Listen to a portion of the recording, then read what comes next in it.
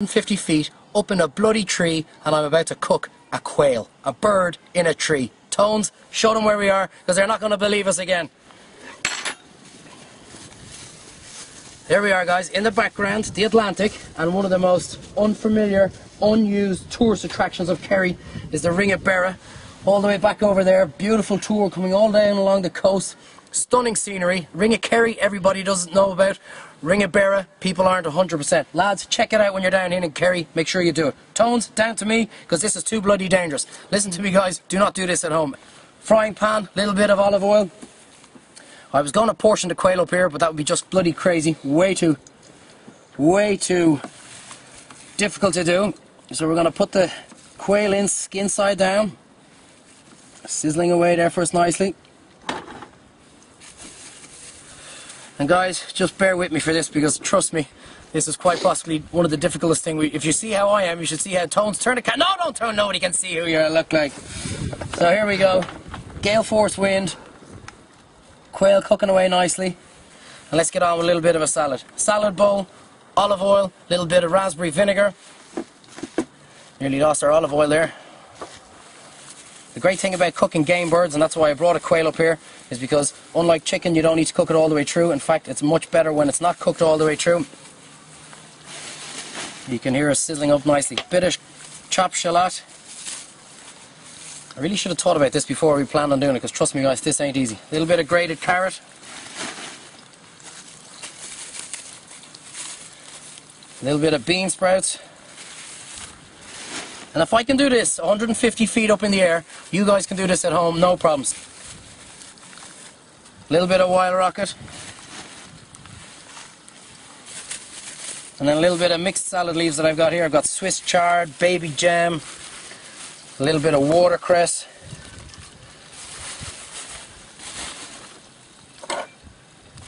This is, I have to admit, pretty challenging challenge, but it's good fun.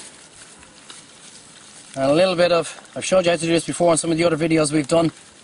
A little bit of chopped tomato with the skin taken off. What am I looking for? Squeeze of honey, plain and simple honey.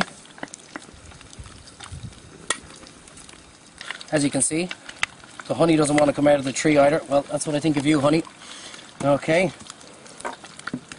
Remember, now a little bit of pinch of salt.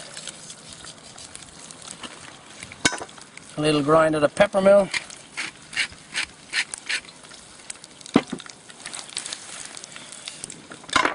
Pull out an old knife, a little bit of apple. This is pretty daft, lads, isn't it? What the hell am I like? Throw that back out for the old sheep down below. Obviously this is going to be a lot easier to do at home. You get the idea. Wait till we see Ramsay up here, lads, huh? Oh, come on, Gordo. Let's see what you're made of.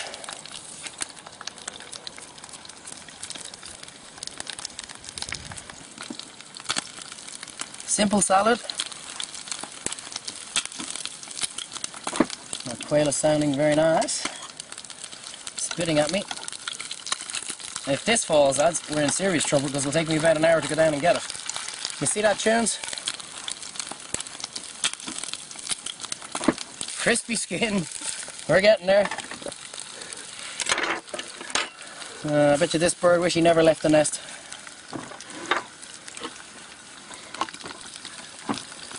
Clean up our plate. A little bit of tree around the place. A little bit of black pepper.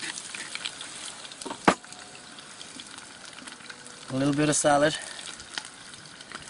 Michelin star my ass, lads, huh? Look at this. We can do this up 150 feet in the air.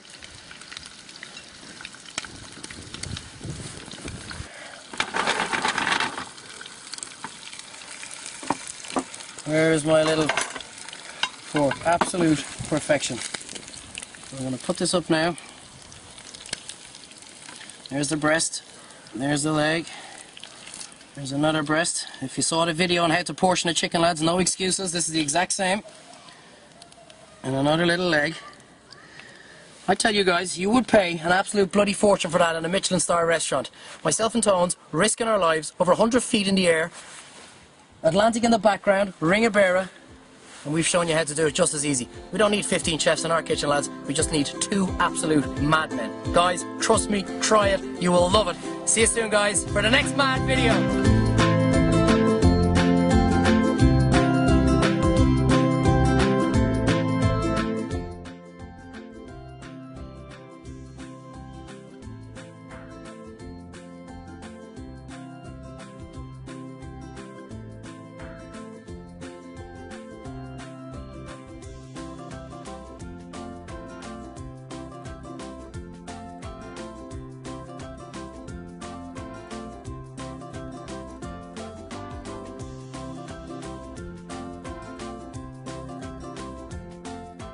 Look at this view, lads. It is so good, we can nearly see them waving to us from the States over there. Absolutely beautiful. What are we cooking today, Tones? We're doing a beautiful piece of monkfish tail, slightly curried. I've got a selection of mushrooms here, some shiitake, some chanterelle, some chestnuts, and we've also got some beautiful sweet corn, peppers for colour, and a little bit of toasted pine nuts. This, guys, is going to be amazing. So let's prep it. Cut your monkfish. The incredible thing about monkfish is this used to be thrown out. It was never used. In the last 10, 15 years, it's become very popular. They used to make this for, for bait, for lobster. Now it's more expensive than lobster. Unbelievable. So cut it about maybe an inch thick. You know me by now. It doesn't really matter. Don't get too caught up on it. We want it about that size. Not too thick because it's going to be cooked in minutes. Simple. So good old olive oil. Looks so good there's a fly trying to jump into it already. And just some mild curry powder. If you want it spicy, just go stronger. I, am not a mad spice fan, I have to admit. So just a little bit, because you don't want to take from the taste of the fish. Get your fingers in there, make a little bit of a paste. And just marinate it. Cover it in the oil. And that is good to go in the frying pan in seconds. So there we are guys. That's it. Curry powder, olive oil, monkfish. That little piece of monkfish tail cost me eight quid. Isn't that incredible? That's how much I love it. I'm paying eight quid to show you how to cook a fantastic dish. Okay, frying pan for all our mushrooms and stuff. Olive oil. This one heating up dry. Why don't we put olive oil in? Correct, because we marinated the fish already, so we don't need to put too much into it. So in we go. Selection of mushrooms, spring onions, and a bit of garlic. Straight in. You know, everybody should do this kind of stuff, guys. I mean, like when you're wondering what to do, pack the kids, throw them into the car, head down to a beach or somewhere like this, get one of these camping things in a frying pan, even if you just cook sausages, who cares? This is what it's all about. Out in the wild, in the most spectacular place in the world. Okay, a little bit of rock salt. Now, I forgot butter when we came on this epic adventure. Normally I would have a little bit of butter in there as well, but that's the beauty of cooking. You cook with what you got. And a little bit of cracked black pepper. I bought Nam Pla, which is a fish sauce, but I've decided I'm not going to use that because I think we've got enough. Um, I think we've got enough flavors going on. I'm just going to put in a little bit of teriyaki sauce, about half a teaspoon. You know me now, guys. I love when you're just getting these subtle flavors that nothing should be too overpowering in the dish. So that's just enough. I'm going to soften them up now before we go on to the next stage. Right, so our mushrooms, spring onions, garlic, nicely softened. I told you, look, I don't know where And now this is for the crunch. Green, red pepper, a bit of colour, sweet corn, and some toasted pine nuts. This pan now is red hot. Now, where's my monkfish? This was swimming around there about 30 minutes ago. I jumped in with my harpoon and I saw this guy go by and I just cut his tail off. Oh no, I told you it cost 8 quid already, didn't I? Okay, here we go. That's what you want to hear. You want to hear that sizzle. If you're not hearing that, your pan ain't hot.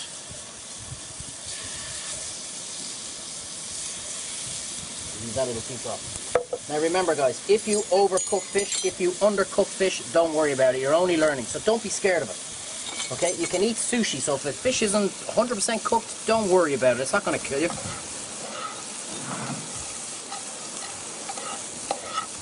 That is looking absolutely fantastic. We're basically going to do one minute each side, uh, maybe one and a half. Okay, we're nearly ready to turn our fish. This is good. We don't want to overcook that, so we're going to turn that off. Don't worry, the pan is going to keep it plenty hot. Oh man, look at this. Tones, close up, quick, quick, quick. Look at that. Tiny, tiny pinch of rock salt on top. Just a tiny pinch. Now, don't come here for a second. That pan is so hot, I know I can turn it off and the residual heat will cook that fish through.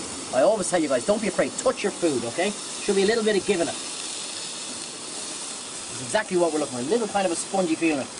I actually like my fish slightly undercooked. Sounds bizarre, but I think a nicer texture and better flavour to it. So that is good to go. And by the time we get this plated up, my fish will be ready. Now, let's start plating up. The mushrooms, the sweet corn.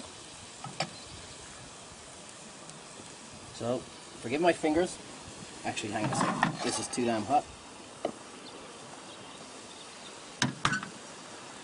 Now,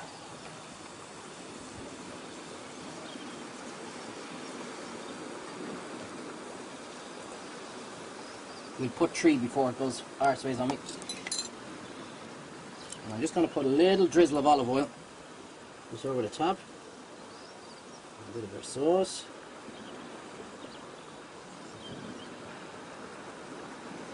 And you know what, Tom? Sometimes, I've said it before, sometimes I do amaze myself. Cooked in real time in front of you, in front of you all, lads. What an absolute cracking little dish, if I do say so myself. And now, I'm going to go down there and eat it and see if I can see anybody over in the States that's coming over to Kerry on their holidays. Trust me, guys, you gotta try this at home.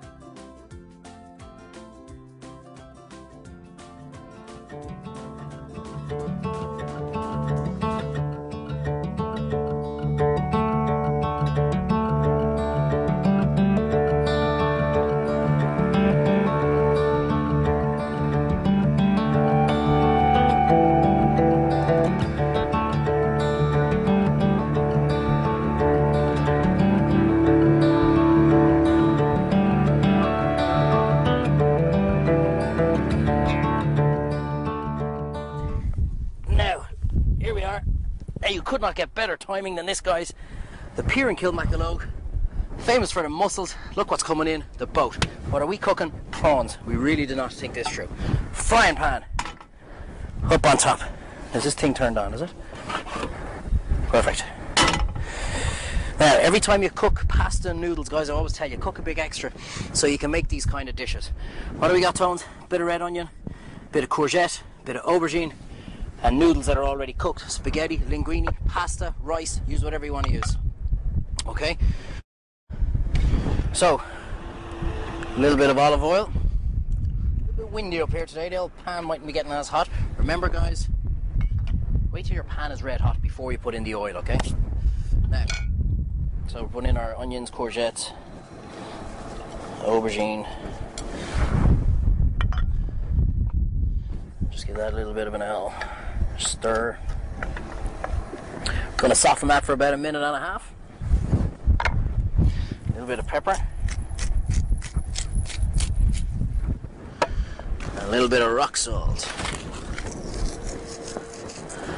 Beautiful.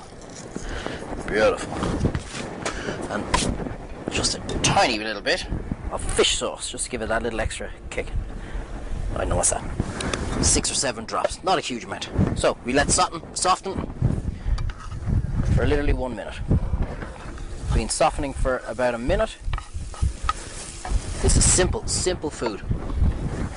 Beautiful prawns, fresh prawns. I left a tail on just little piece at the end. You can actually eat that, guys. Don't be worried about it. It's not the hardest shell in the world. Getting some beautiful colours.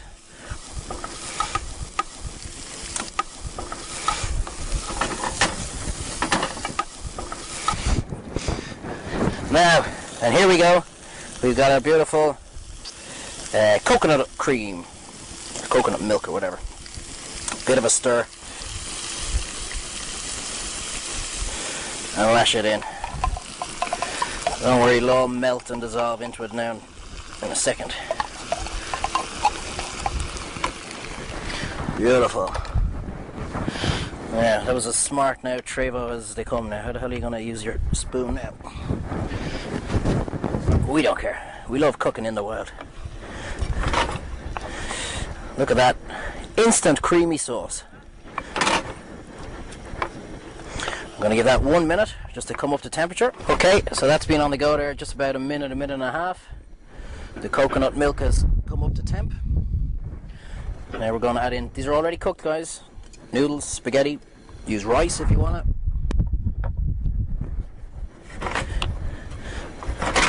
And again, we're just going to give that about a minute to come back up to temperature. And then we're going to be ready to serve. So, that's taken about a minute or so. Maybe a minute and a half again for the noodles to come up. Now, do a little bit of jiggery pokery here now for one sec. Wah, hot, hot, hot. There. You all gotta try these at home. I know there's loads of you trying them at home, lads, but come on to our Facebook page and tell us you've tried them at home. Okay? Now, I didn't leave them over there by mistake for. They were there for a reason. I know it's my fingers, lads, but we're cooking on top of a pier for God's sake. Mmm. Damn, that is good.